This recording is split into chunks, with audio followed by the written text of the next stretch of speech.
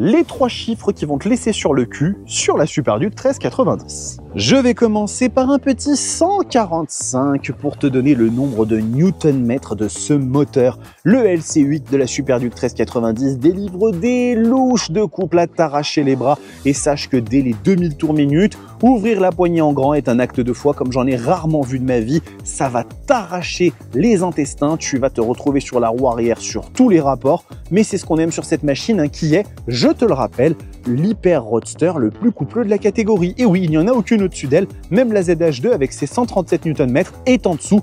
Bref, autant te dire que la KTM Super Duke 1390 est un tracteur, un char d'assaut capable d'arracher n'importe quoi, et c'est aussi pour ça qu'on l'adore, on va être honnête. Ensuite, le prochain chiffre, ça va être 0. 0 comme la tête à Toto. Et pourquoi 0 Eh bien parce que sur cette moto, il y a zéro serrure. Et oui, cette machine est équipée du keyless, ce qui fait que, comme tu peux le voir ici, eh bien on ne peut pas ouvrir ça tant qu'on n'a pas le petit euh, transpondeur, mais inutile d'avoir une clé avec soi.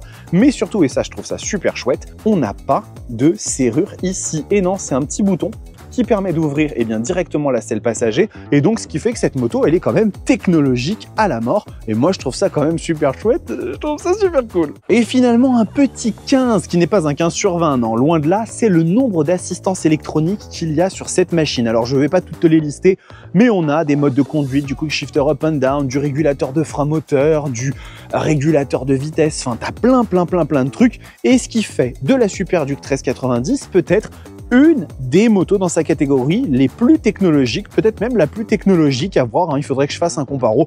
Alors là, je ne vais pas faire ça hein, parce que vraiment, j'ai pas le temps, mais c'est possible quand même.